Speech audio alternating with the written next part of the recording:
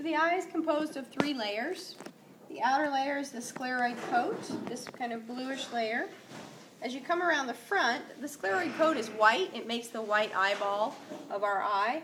It needs to be clear though in order for us to see out of it. And so this clear part up here is the cornea. Behind the cornea, you have the aqueous humor or body, which is fluid. Then you have the iris, the colored part of your eye, which is attached to that next layer then. All of this red is the choroid coat, this thin layer here. And this portion of the choroid coat is the um, ciliary body, which is a muscle. The ciliary body is attached to the suspensory ligaments, which are attached to the lens. So when the ciliary body contracts, the suspensory ligaments tighten, changing the shape of the lens, and that's how we focus.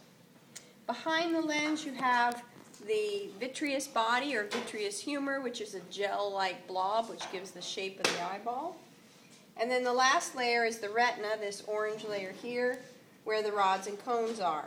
Coming in is the, the optic nerve.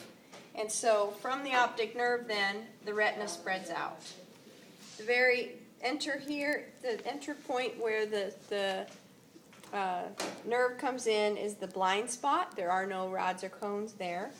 Then to the right of it, where is the direct line from your eye as you when you look, this area is called the fovea centralis.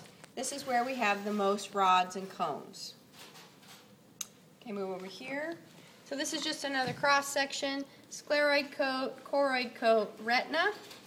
This would be iris. This would be ciliary body. Pupil. The pupil here is right there.